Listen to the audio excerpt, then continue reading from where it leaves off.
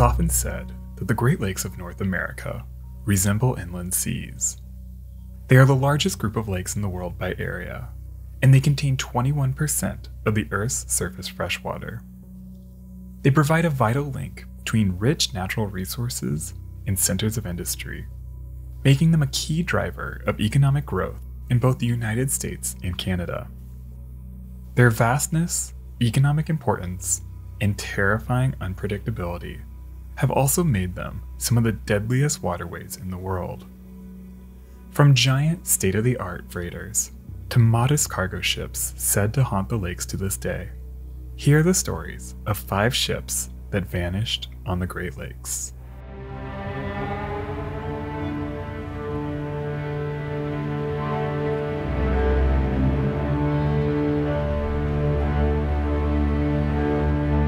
In early August 1890, the Cleveland Shipping Company began construction at their Detroit Street Yard on a brand new freighter labeled Hull Number 10. The new vessel was constructed for William H. Gilcher, Randall E. Shuck, and Joseph C. Gilchrist. The three prominent Ohio lumber merchants were in the process of building out a network of Great Lakes trading vessels. Hull Number 10 was contracted at a cost of $200,000 and was by far the new venture's largest vessel. Her design was almost an exact copy of another freighter being built by the shipyard at the same time, the SS Western Reserve. They were both highly modern, two of the first lake freighters with hulls constructed out of steel plates instead of wood or iron. Despite a great deal of fanfare and a number of high profile people in attendance, Hull Number 10 was launched on December 18, 1890, without a christening or official naming ceremony. She would not be officially christened the W.H. Gilcher, named after one of her three owners, until she was nearly completed in March of 1891. The use of steel allowed the W.H. Gilcher and the Western Reserve to be two of the largest ships on the Great Lakes at the time. She measured 301.5 feet, or 91.9 meters long, with a beam of 41.2 feet, or 12.6 meters. She came in at 2,414 tons and was able to carry 140,000 cubic feet of bulk cargo on each voyage. Her triple expansion steam engine produced 1,200 horsepower that drove a single screw, achieving a speed of 9.5 knots. During her short career, the W.H. Gilcher carried various cargoes, including wheat, corn, coal, and iron ore, all across the lakes, and she consistently broke records for the largest cargoes carried out of various ports at the time.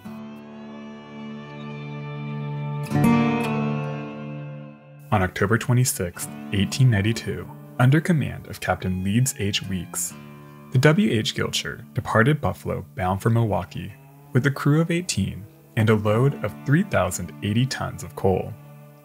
At 2:30 p.m., as she passed through the Straits of Mackinac, the weather was good and the voyage seemed nothing but routine. But as evening neared, the barometer dropped, and ominous clouds gathered over Lake Michigan, and by nightfall, a storm was ravaging the lakes. On October 30th, the storm had cleared, and numerous vessels, delayed and battered, began limping into port. But in Milwaukee, the W.H. Gilcher was nowhere to be found. It seemed unimaginable that one of the largest and most capable ships on the lakes would succumb to a storm. But soon, stories of the horrors she faced that night began trickling in. Captain Buchanan of the schooner Seaman claimed they saw a large steamer struggling through the storm 20 miles northwest of North Manitou Island just after 8 p.m. on October 28th. Strangely, the steamer appeared unresponsive, and they saw no signs of life on her decks. The ghostly sighting didn't bode well for the fate of the steamer, and as the day passed, more reports began painting a picture of what might have happened to the W.H. Gilcher. Another schooner, the John Shaw, reported sailing through a debris field just off South Manitou Island. A steamer called the White and Friant picked up pieces of the Gilcher's pilot house, and soon more debris washed up on the beaches of the Manitou Islands.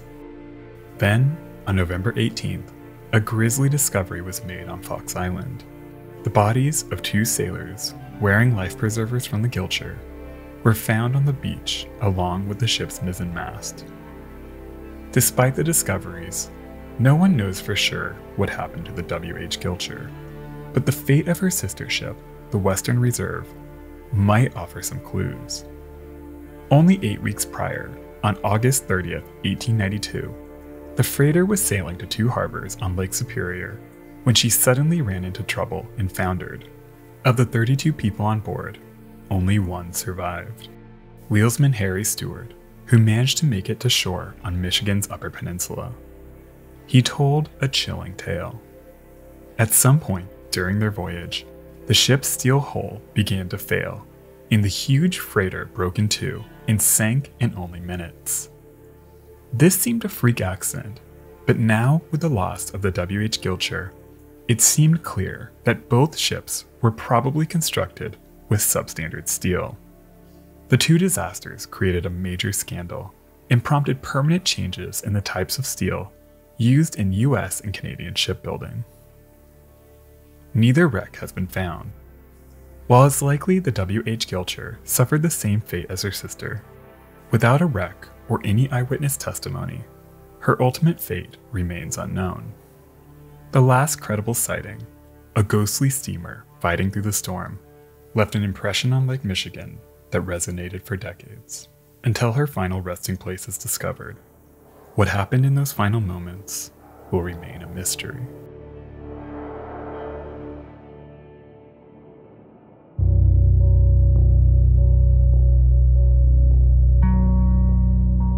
On September 20th, 1924, Captain Emmett D. Gallagher found his vessel, the whaleback freighter SS Clifton, critically short-handed as he prepared for an upcoming voyage, leaving from Sturgeon Bay, Wisconsin. The last few days had seen numerous crew departures, but the Clifton wasn't a stranger to high turnover.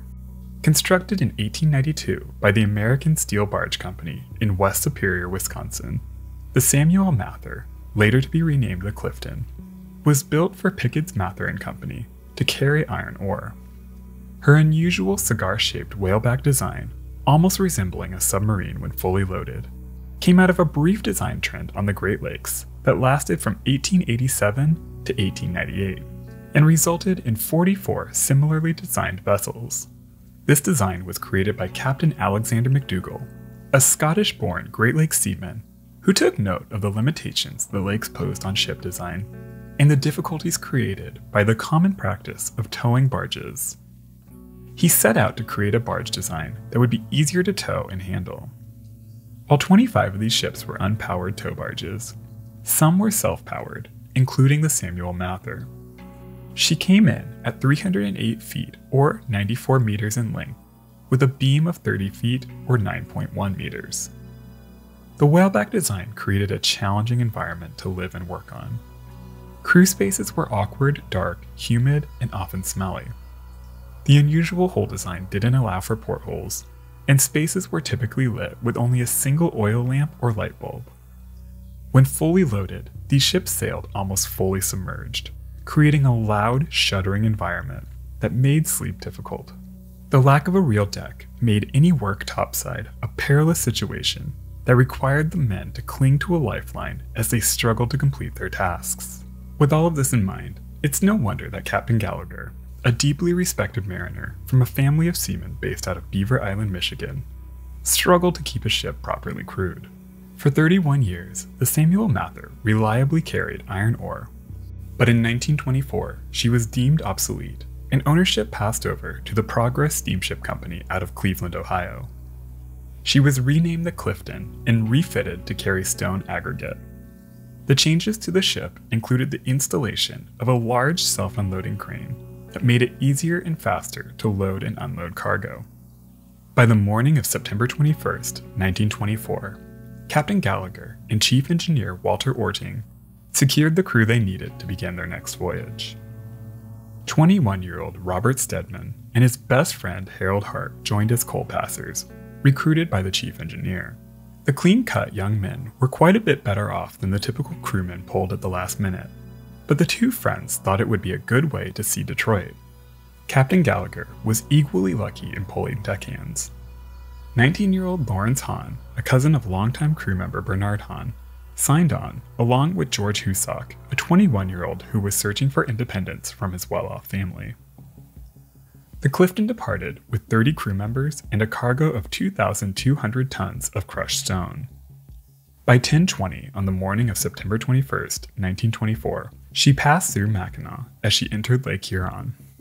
But after clearing the straits, she was never seen again.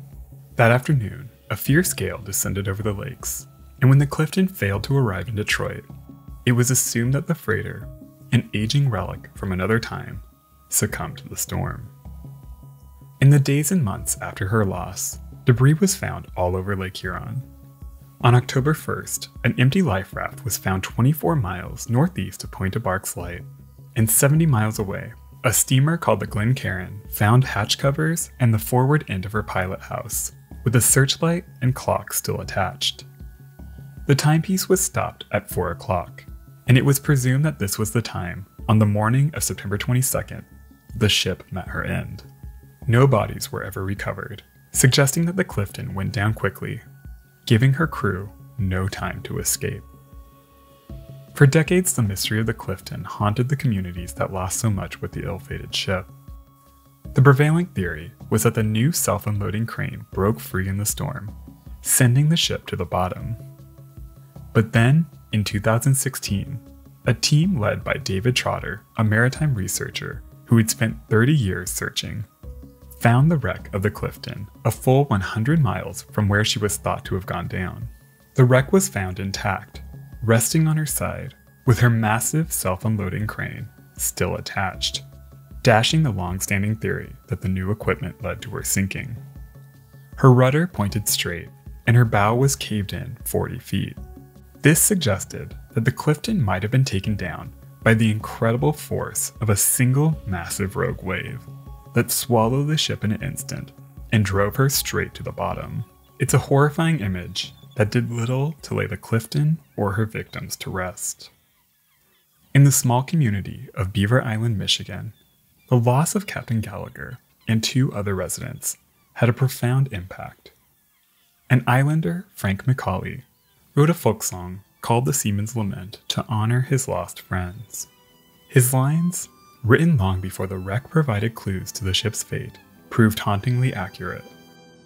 And the mad billows leap like wild beasts from their lair, and in their wild rush, not a life will they spare. And as they roll on over the structure of steel, the steamer does tremble from foretop to keel.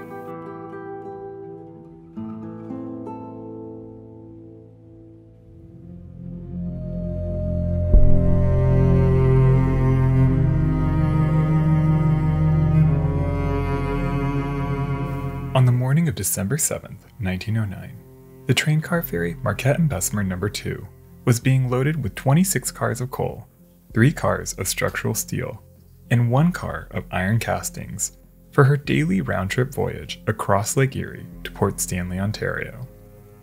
The ship was relatively new, having been built only four years earlier in 1905 by the American Shipbuilding Company in Cleveland, Ohio, for the Marquette and Bessemer Dock and Navigation Company.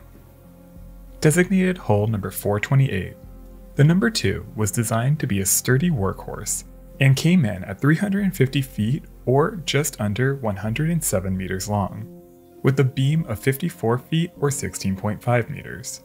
She was powered by a pair of triple expansion engines that drove twin screws and achieved a service speed of around 10 knots. Her cargo deck had four tracks that could hold a maximum of 30 rail cars. From her maiden voyage, the number 2 was commanded by the well respected Captain Robert MacLeod. He was joined by his eldest brother, Captain John MacLeod. While John could have commanded his own vessel, he chose to join his brother as first mate so he could remain close to his wife and newly acquired property in Conneaut. This was one of the advantages to working on a car ferry, and it's what attracted many of the crew members, most of which lived locally.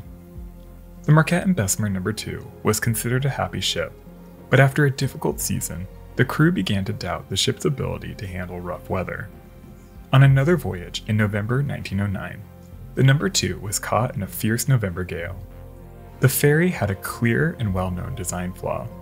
Her stern featured a large opening used to load and unload train cars. This open stern had no gate or closing mechanism, leaving it open even while the ship was underway. During the storm, a massive wave unexpectedly hit from behind and nearly flooded the ship. She only barely escaped the ordeal that left her crew terrified. Soon after the incident, Captain McLeod complained to the company about the safety of the open stern, and they agreed that a gate would be installed at the end of the season. But in the meantime, the number 2 would continue sailing, and on the morning of December 7th, as storm clouds built over Lake Erie, she departed Conneaut with between 33 and 38 crew members and one single passenger. As the storm grew worse, the number 2 failed to arrive in Port Stanley. But all through the night, people on both the north and south shore of Lake Erie claimed to see and hear the massive ferry fighting through the storm. Despite numerous eyewitness accounts and several search attempts, the Marquette and Bessemer number 2 was never seen again. Then, on December 12th, a grisly discovery was made 15 miles off the shore of Erie, Pennsylvania.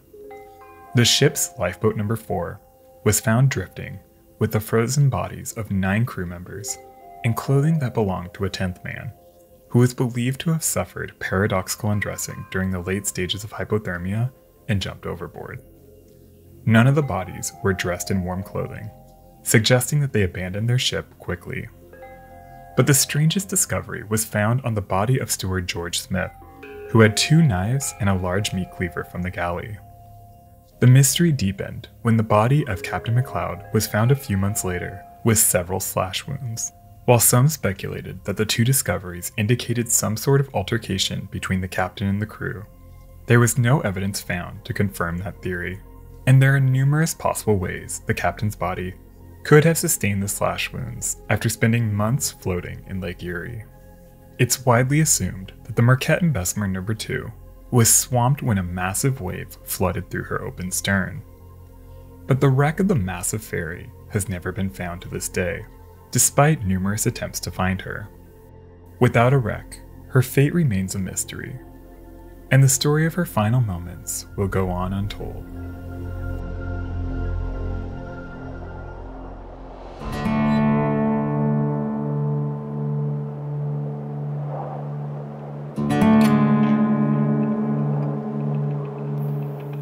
Some shipwrecks of the Great Lakes live on in memory for generations, told and retold over and over, taking on a new life after death.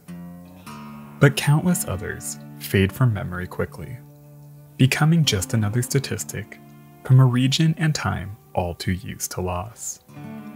The freighter DM Clemson is one of those seldom mentioned tragedies that occupies little more than a footnote in history. Completed on July 3, 1903, by the Superior Shipbuilding Company, the DM Clemson was one of the largest freighters on the lakes. She measured 468 feet, or 143 meters in length, with a beam of 52 feet, or 16 meters, and came in at 5,531 tons.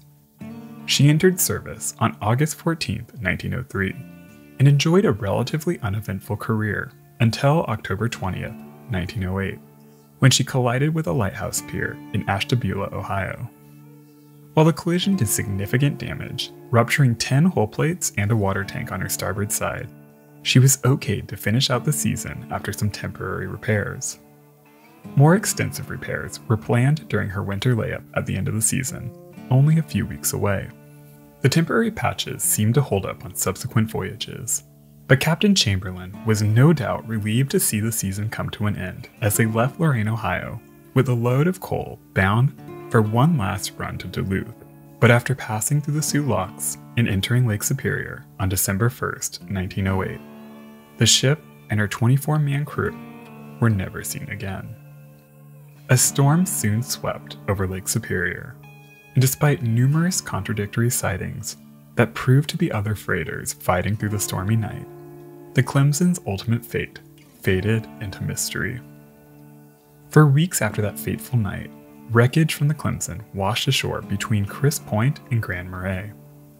Five bodies were eventually found, including watchman Simon Dunn and second mate Charles Woods, still clad in a life vest, labeled DM Clemson. These were the days when a ship lost in a storm was considered routine, and for the families of the Clemson's crew, many of whom spent days waiting on piers, anxiously waiting for the ship and their loved ones to return, hope soon faded into mourning. The wreck of the DM Clemson has never been found. Some theorize that the temporary repairs made after her collision earlier in the season gave way in the storm. Others suspect that her wooden hatch covers buckled under the weight of the waves that battered the freighter. In 1917, another ship with the same name was launched. The second DM Clemson sailed for over 60 years until she was finally scrapped in 1980. By the time her hull was ripped apart, almost no one remembered that another ship bore the same name, her secrets now resting somewhere at the bottom of Lake Superior.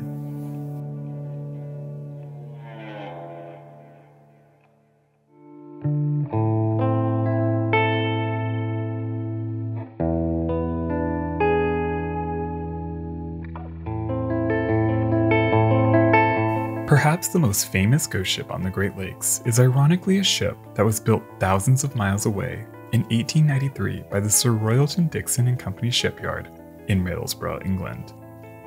Not long after completion, the SS Bannockburn arrived in Canada to join the Montreal Transportation Company fleet based in Ontario. Her design differed from the other ships that served the Great Lakes at the time, and her unique profile might be what would eventually make her so infamous. She was designed to carry grain and came in at 1,620 tons, with a length of 245 feet or 74.7 meters, and a 40 foot or 12.2 meter beam. By 1902, she was commanded by the 37 year old Captain George R. Wood from Port Dalhousie, Ontario. While he was young and only on his first year with the Bannockburn, he was an experienced mariner and previously captained another vessel called the Glengarry her 20 member crew was also quite young, but this was somewhat common for the Great Lakes at the time. After Captain Wood, the next oldest on board was 33 year old Chief Engineer George Booth. Most every other person on board was between 17 and 20. The youngest crew member was the wheelsman Callahan. He was an orphan working on board to support his three younger brothers. He was just 16 years old. The Bannockburn departed Port Arthur, Ontario just after 9 a.m. on November 21, 1902. They were actually scheduled to leave the day before, but the ship had run aground just after departure, which forced them to turn back for an inspection, which found minimal damage, and she was soon cleared to sail. As they left port, storm clouds had already begun to form over Lake Superior. But Captain Wood felt that the weather would hold long enough to complete their run, the last of the season. That afternoon, Captain James McMaw of the freighter Algonquin was navigating through mild wind and waves some 80 miles off Keweenaw Point when he noticed the silhouette of another freighter making her way downbound approximately 7 miles away. He immediately recognized the distinctive three masted profile of the Bannockburn. Conditions were mild, and Captain McMaw didn't notice anything out of the ordinary about the steamer. He noted the sighting in his log and briefly checked his charts. Only a moment or two later, he raised his binoculars to take another look. What he saw was baffling. There wasn't enough time for the Bannockburn to sail out of view, and yet it was nowhere to be seen. He figured that some atmospheric change must have obscured the ship from view, but the sudden disappearance always unnerved the seasoned captain. That night, a fierce storm swept over Lake Superior, and as the days passed, the Bannockburn failed to arrive at the Soo Locks, making Captain McMaw's strange account the last credible sighting of the ship. After numerous fruitless searches, speculation focused on Caribou Island. The lighthouse on the island was shut off for the season on November 15th. It was suggested that Captain Wood searched for the light in the storm, but got lost without the beacon, turned off far too early. The only trace of the ship ever found was a single life vest discovered on December 12th near the Grand Marais Life Saving Station. On November 25th, the steamer John D. Rockefeller claimed to have spotted a debris field, but the wreckage was never fully investigated. The wreck of the Bannockburn has never been found. With so little to go on, the loss of the Bannockburn soon passed into legend, and numerous sailors claimed to see her distinctive three masted profile fighting through stormy weather in the area around Caribou Island. Ghost stories are all that remain of the once proud vessel, her crew lost forever to the unforgiving waters of the Great Lakes.